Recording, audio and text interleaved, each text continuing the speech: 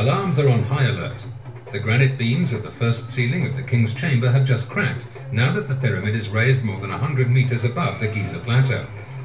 The enormous load on the limestone rafters, which straddle the relieving structure above the King's Chamber, linked to slight subsidence in its south wall, has caused the beams to crack.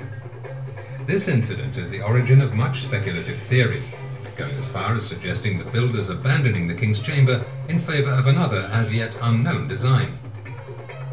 Thanks to the simulation and to the computer calculations with software used chiefly to carry out virtual car crash tests, it's been possible to retrace the history of the successive cracks in the beams of the first three ceilings. Contrary to generally accepted ideas, we note that the cracks appear a long time after the completion of the construction of the King's Chamber, under the combined effect of the subsidence of the south wall and the separation of the rafters.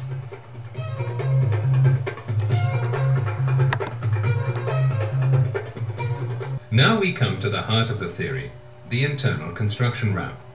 As we've seen, the pyramid is built to two-thirds of its final size using the external ramp.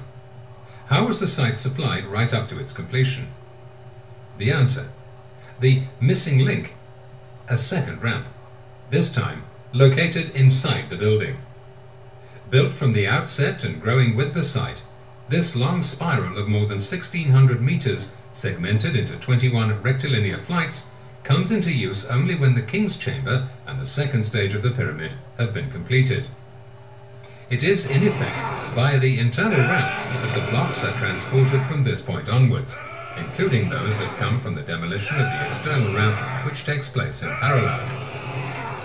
Hauling the stones on sledges to the top was relatively easy on this slight gradient of around 7%. However, this spiral ramp involved levering blocks between two flights, hence the need for notch landings open to the atmosphere. Each of these spaces enabled the sledges to be maneuvered so that they can be aligned in the axis of the next flight. For the higher levels, the blocks were smaller, and hauling them required teams of only around 10 men working in relay from one flight to another. After each haul, the ascending teams return to their platforms without disrupting the rhythm of the site, using an exterior gangway which is parallel with the flight being used. Here, the purpose of recreating the process in 3D is to quantify the action in real time.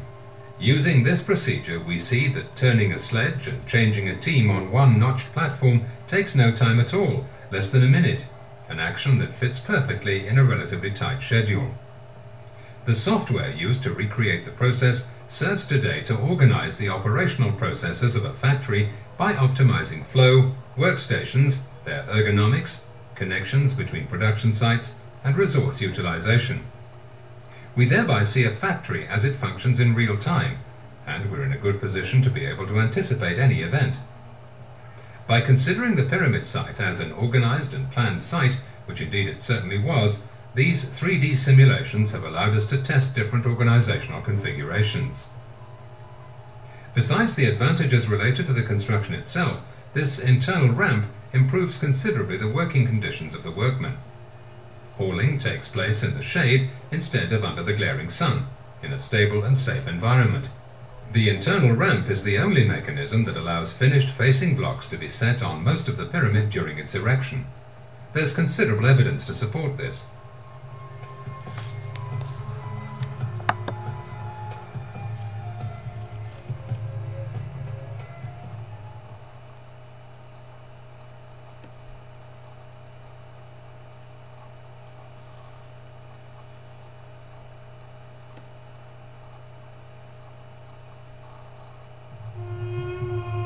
What we call the pyramidion is the stone which crowns the pyramid. Regardless of how small it was, this mini pyramid had to be laid very carefully to compensate its weight of around 15 tons. During the site work, the pyramidion was first hauled to the level of the king's chamber at 43 meters from the base via the external ramp. Then, and until it reaches its final position, it was raised by rotation using ropes that are tied to a wooden hoisting device. Each time it's raised, its steady, slow release from the ground is assured by the torsion of each of these ropes, with its underside in a diamond shape to facilitate its release. The virtual 3D simulation of the way the pyramidion is lifted enables us to visualize a very simple concept, which has the great advantage of requiring only little space, something which is of paramount importance at the top of the pyramid.